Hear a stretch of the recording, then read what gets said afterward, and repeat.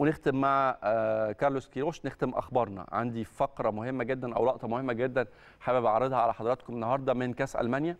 كارلوس كيروش بس خليني أتكلم عن كارلوس كيروش شوية. آه، المدير الفني لمنتخب مصر طالب النهارده من كابتن وائل جمعة إنه آه، لاعبتنا المحترفة في الخارج يكون أقصى موعد لانضمامها لمعسكر المنتخب المقبل قبل ماتش السنغال يكون يوم 21 مارس. والأسماء اللي قلت لحضراتكم من واقع اختياره عليها هم خمسة.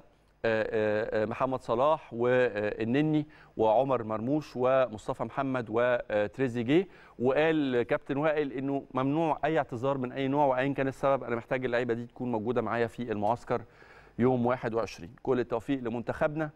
ومرة تانية بكرر بالمناسبة يعني ال- ال- ال- المناشده أو الرسالة اللي ممكن أوجهها لأي مسؤول أعتقد إنه منتخب مصر في حاجة ماسة جدا لجماهيره في المباراة دي وأتمنى إن شاء الله بإذن الله إنه استاد القاهرة يبقى مليان.